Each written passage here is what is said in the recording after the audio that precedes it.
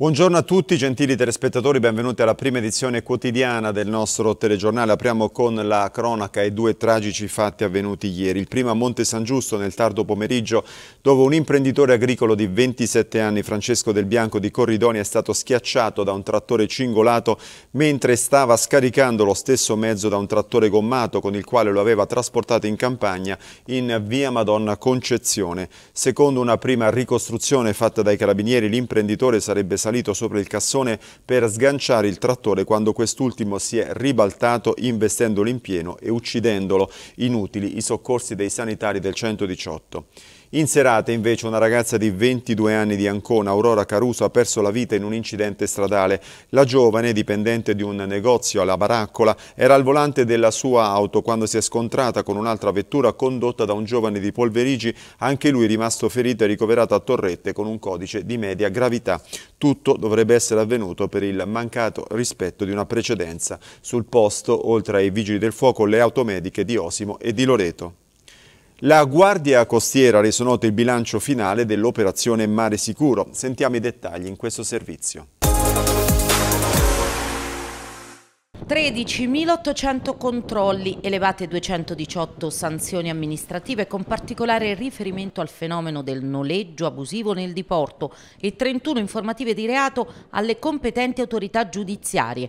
1.491 le verifiche condotte lungo il litorale marchigiano che hanno permesso di restituire alla libera fruizione circa oltre 13.000 metri quadri di aree demaniali marittime e specchi acquei caratterizzati dal fenomeno dell'illegale posizionamento di attrezzature balneari e dall'occupazione abusiva del pubblico demanio marittimo in assenza di qualsivoglia atto autorizzativo. È il consuntivo estivo dell'operazione Mare Sicuro, campagna nazionale della Guardia Costiera, che da più di 30 anni si pone l'obiettivo di promuovere, incoraggiare e sostenere la cultura della responsabilità per la tutela delle risorse e dell'ambiente. Dall'analisi dei dati rispetto alla passata stagione si è avuto modo di rilevare numeri sostanzialmente invariati per ciò che concerne i controlli eseguiti e gli illeciti amministrativi e penali accertati. Medesimo discorso vale per i dati relativi ai soccorsi effettuati. L'attività di vigilanza a tutela proseguirà anche durante la stagione autunnale, rilasciati infine 260 bollini blu per evitare duplicazioni di controlli. Due uomini di 66 e 59 anni residenti del Fermano sono stati denunciati dai carabinieri di Porto Sant'Elpidio e Sant'Elpidio a Mare per aver introdotto uno smartphone in cabina elettorale al fine di fotografare la propria scheda durante il voto per le elezioni politiche del 25 settembre. A Porto Sant'Elpidio i militari erano intervenuti su richiesta del presidente di Seggio nella sezione di Via Pesaro che aveva segnalato l'uso di un telefono da parte di un elettore dentro la cabina elettorale per immortalare la propria scheda. I carabinieri avevano trovato trovato il votante con il cellulare in mano. Analogo episodio in un seggio di Sant'Elpidio a Mare in via dalla Chiesa. Anche in questo caso, dopo la segnalazione del presidente di seggio, i carabinieri avevano sorpreso un 59enne che aveva fotografato la scheda. La violazione di questa disposizione di legge è punita con l'arresto da 3 a 6 mesi e con l'ammenda da 300 a 1000 euro. Tornano finalmente a nuova vita i locali dell'ex Upima Macerata in pieno centro storico dopo quasi vent'anni. Manolita Scocco. Curiosità e compiacimento stanno accompagnando i primi giorni di apertura della nuova libreria nei locali dell'ex UPIM, storico stabile della Galleria del Commercio di Macerata, dopo una ventina di anni in cui gli spazi erano rimasti chiusi vuoti e bui, la chiusura risaliva al 2003, Oggi la libreria occupa uno spazio di 230 metri quadri e presenta circa 4.000 volumi. A questa apertura ne seguiranno altre in questi spazi storici e conosciuti da tutti, maceratesi e non. Intanto è grande la soddisfazione del sindaco Sandro Parcaroli. Quando è andato via Lupin queste vetrine sono rimaste incustodite, anche, anche brutte, per il centro, per questa posizione che centrale per Macerata non è stata una cosa bella questa galleria così adesso con l'apertura di, di, questa nuova libreria diciamo, e con altri negozi che apriranno perché anche, che ci saranno altri negozi, l'apertura di altri negozi anche qui vicino quindi il centro sta ripartendo. E questo che dire in questo periodo eh, è un bel segnale che è un po' anche l'obiettivo che avete come amministrazione comunale, l'avete sempre detto, rivitalizzare, far ripartire il centro, il commercio, non è semplice soprattutto in questi no, periodi. Rifare ripartire il centro è stato un obiettivo della mia amministrazione, non è semplice in questo periodo, però è un'amministrazione che sta vicino a chi vuole aprire perché diamo insomma, nei limiti dei nostri possibili, eh, nei limiti delle nostre possibilità di dare una mano a questi imprenditori che vogliono investire nel centro ma anche sulle vie, perché io intendo il centro, non il centro proprio qui, ma tutta Macerata in centro, tutti i vari corsi che abbiamo, Corso Calore, Corso Cavour, fino alle periferie. Quello che si può fare anche sulle nostre periferie, Sforza Costa, Villa Potenza, Piediripa, ben venga e comunque una libreria in una città universitaria sì, in centro storico è il segno de, di una vitalità. Sì, questa è una città universitaria, una bella una città universitaria, adesso arriverà anche il nuovo rettore, l'amministrazione sta parlando con il nuovo rettore ma abbiamo parlato anche con l'Ornato che adesso lascerà quindi comune e università sono delle entità molto importanti per la città. Aprire in un locale storico dismesso da anni è una soddisfazione immensa.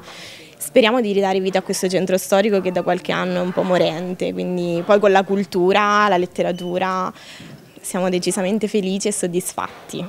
Città universitaria, la libreria ha un valore ulteriore rispetto ad altri luoghi? Decisamente ehm, la letteratura, la cultura in una città universitaria diciamo che sono il fulcro sicuramente e avere tanti studenti giovani che bazzicano qua nella libreria, che calpestano questi, questi pavimenti è bellissimo perché siamo abituati eh, a una clientela diversa, Giunti nasce come libreria di centro commerciale ma adesso si sta aggrappando anche al centro storico e farlo a Macerata è una soddisfazione. Impegno della Giunta regionale delle Marche a programmare con urgenza un incontro con i sindaci dei comuni di Fiastra, Valfornace, Bolognola e degli altri delle aree interne che per scelte aziendali degli istituti bancari potrebbero trovarsi nelle medesime situazioni di difficoltà. Lo prevede una risoluzione approvata all'unanimità sul mantenimento degli sportelli bancari nelle aree interne delle Marche. In base all'atto approvato l'intesa deve essere garantita per un periodo non inferiore ai 5 anni. Ed è stata approvata ieri dal Consiglio regionale la proposta di atto amministrativo concernente le linee guida per la programmazione della rete scolastica e l'offerta formativa per il triennio 2023-26, un provvedimento che risente fortemente delle mutate circostanze relative ai fenomeni della denatalità e del sisma che ha contribuito ad impoverire in termini numerici le aree interne e disagiate. Sentiamo le interviste. Allora, innanzitutto nella redazione delle linee guida si è tenuto conto di alcune circostanze, tra cui evitare la dispersione scolastica e favorire in maniera particolare le aree interne, quelle maggiormente colpite ad esempio anche eh, dall'abbandono delle, delle, ter delle terre. In maniera particolare quindi eh, le linee guida eh, puntano l'attenzione eh, sul evitare eh, la dispersione scolastica, sul fatto inoltre di far sì che eh, le, i comuni montani e i comuni del, del cratere eh, si possano applicare delle deroghe per evitare appunto il dimensionamento scolastico. È inoltre previsto l'istituzione di un osservatorio sull'istruzione che appunto eh, tenga conto di quelle che sono le problematiche che eh, si incontrano e ehm, da ultimo eh, favorire comunque una qualità eh, didattica eh, evitando la costituzione delle classi pollaio. Sulle linee guida della rete scolastica per il prossimo triennio il Movimento 5 Stelle ha scelto di astenersi perché? Eh, innanzitutto perché era comunque un atto programmatorio dovuto ed è stato impostato, possiamo dire, bene dagli uffici della, della Regione che hanno lavorato in sinergia con le istituzioni scolastiche, con le, scolastiche, con le province, con i comuni, quindi è stato un atto particolarmente partecipato anche dalle studenti e dalle famiglie. Quindi da in linea di principio non abbiamo avuto da cepire nulla se non il fatto che è un po' vuoto di contenuti perché quelli che sono i problemi del dimensionamento scolastico e anche della prossimità soprattutto degli istituti primari eh, non è stato superato, se non in parte con un emendamento che è stato proposto oggi dal Presidente di Commissione Marinelli su spinta di quelle che sono state le osservazioni del CREL. Questo emendamento è stato poi subemendato anche dal consigliere Carancini del PD e devo dire che con questo ulteriore emendamento insomma, abbiamo chiarito un pochino quella che è la situazione, bisogna dare deroghe soprattutto alle aree del cartiere del sisma. Completamente fuori luogo, un toto DG che sembra quasi un toto ministri per quanto riguarda le nomine dei direttori generali dell'azienda ospedaliera universitaria delle Marche dell'IRCA e delle cinque aziende sanitarie territoriali. Lo ha detto l'assessore regionale alla sanità, Filippo Saltamartini a margine proprio della seduta dell'Assemblea legislativa di ieri con la riforma dell'organizzazione sanitaria regionale approvata ad inizio agosto. Nelle Marche ci saranno sette aziende, oltre a Torrette ed Irca, le cinque ex aree vaste che diventano autonome, tra le quali quella di Pesaro che ingloberà, lo ricordiamo, Marche Nord. E restiamo in tema sanità visto che ottobre è il mese della prevenzione del tumore al seno, il servizio è di Lino Balestra. Grazie alla campagna Nastro Rosa della LILT, per tutto il mese di ottobre sarà possibile sottoporsi a visite senologiche gratuite presso le associazioni provinciali LILT e i circa 400 ambulatori attivi sul territorio nazionale, dove ci saranno anche opuscoli informativi e si daranno consigli. La campagna Nastro Rosa è sostenuta da preziosi partner che si impegnano al fianco della LILT per la diffusione della cultura della prevenzione come metodo di vita, tra cui l'ANCI, l'Associazione Nazionale Comuni Italiani, Pertanto ogni comune attraverso i suoi assessorati mette in campo iniziative di sensibilizzazione e della popolazione non solo al femminile. Il comune di Fano, contando su importanti collaborazioni, ha appuntato un fitto calendario di appuntamenti, coinvolgendo le strutture sanitarie dedicate. Siamo qui per parlare dell'Ottobre Rosa, il mese dedicato alla prevenzione e cura del tumore al seno, del carcinoma mammario che sappiamo colpisce eh, moltissime donne. Una donna su otto nella vita in Italia eh, viene colpita da questa malattia e siamo qui per ricordare quanto sia importante la prevenzione. Il mio assessorato interpreta il volere del, del Comune di Fano, della sensibilità che è insomma, di tutta la Giunta e del Sindaco, molto attenti comunque alle tematiche della salute e della salute delle donne in questo caso. Eh, le iniziative sono tante ringraziando anche l'impegno delle tante associazioni oltre che delle istituzioni sanitarie del territorio. Noi abbiamo la fortuna di avere un'eccellenza con la Breast Unit Senologica di Marche Nord qui a Fano con il dottor Magalotti e il suo staff, una eccellenza riconosciuta in tutta Italia, eh, ma anche tante associazioni femminili eh, e non che si occupano di prevenzione alla salute, che eh, comunque ricordano quanto sia importante prendersi cura di se stesse. Visite senologiche gratuite sono il cuore dell'iniziativa, come viene più volte evidenziato, che siano però professionisti di riferimento a farle. Prevenire è meglio che curare, scoprire un tumore della mammella in fase precoce vuol dire avere una guarigione pari al 98%, pertanto fare gli esami e le visite di controllo regolarmente è fondamentale. Eh, ci tengo molto a dire, mi raccomando, eh, visite specialistiche da persone che fanno sto mestiere, non quelle che lo fanno solamente nel mese di ottobre, eh, persone che maneggiano il tumore della mammella tutti i giorni, non quelli che l'hanno visto solo sul libro e che poi si trovano in questa situazione perché il mese di ottobre è un mese molto importante ma tutti diventano senoli tutti devono andare in paradiso, pertanto vengono fatte tante belle cose. Noi lo facciamo tutto l'anno, non lo facciamo solo il mese di ottobre, per cui noi regolarmente vediamo in ambulatorio, in ambulatorio circa 3.000 persone, con diagnosi di tumore alla mammella o operati di tumore alla mammella all'anno e operiamo circa eh, a Marche Nord 435 tumori l'anno scorso e a Urbino 152 tumori, per cui circa 600 tumori nella provincia di Pesaro Urbino. Noi qui eh, attuiamo regolarmente nel 30% di eh, interventi per tumori della mammella la chirurgia oncoplastica, che è una chirurgia che permette comunque un risultato estetico eh, molto favorevole e una, una radicalità oncologica molto più ampia. Facciamo un inciso, sembra essere un problema tutto il femminile, in realtà così non è, sottolineiamo questo aspetto che spesso è sottaciuto. Assolutamente sì, eh, nel 2021 sono state fatte diagnosi di 55.000 nuovi tumori della mammella femminile e 650 maschile. Ricordiamoci che anche l'uomo purtroppo può eh, ammalarsi di tumore alla mammella. Le percentuali non sono paragonabili assolutamente, però mi raccomando anche l'uomo, non, non esiste uno screening per il tumore della mammella maschile, però l'uomo deve fare attenzione attenzione, come per tutte le altre cose, anche al tumore della mammella. Supporto non indifferente a Fano l'associazione Fior di Loto.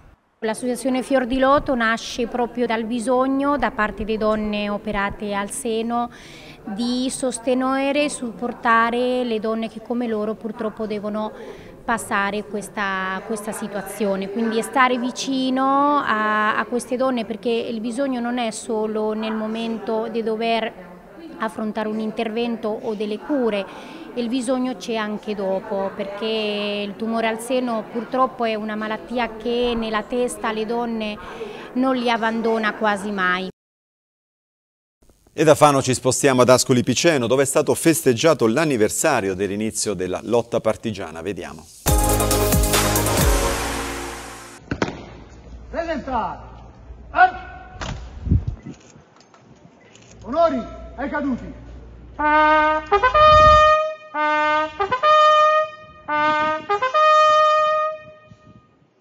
Si è rinnovata come ormai tradizione la celebrazione del 79 anniversario dell'inizio delle lotte di liberazione ad Ascoli e dei fatti avvenuti nel centro cittadino e a Colle San Marco.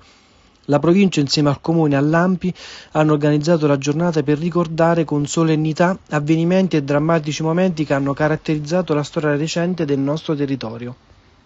L'importanza del 3 ottobre è l'importanza della, della, memoria che oggi dobbiamo avere e, ed infatti è per questo che noi abbiamo invitato proprio oggi le scuole ascolane che saranno presenti con circa 200 ragazzi perché è ora che è anche passata di cominciare a, a seminare e a far capire alle giovani leve quello che è accaduto nel territorio e, a, e dove affondano le radici della loro libertà e della nostra democrazia.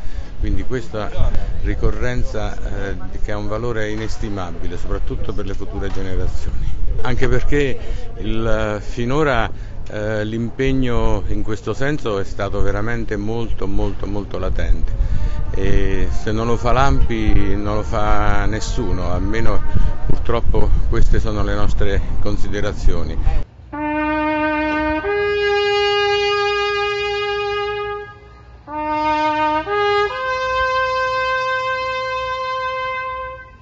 Sarà la nostra presenza nelle scuole con un progetto che abbiamo fatto con le scuole proprio per andare a parlare di, di resistenza e dei fatti del nostro territorio e tutte le altre celebrazioni che normalmente si fanno nel corso dell'anno.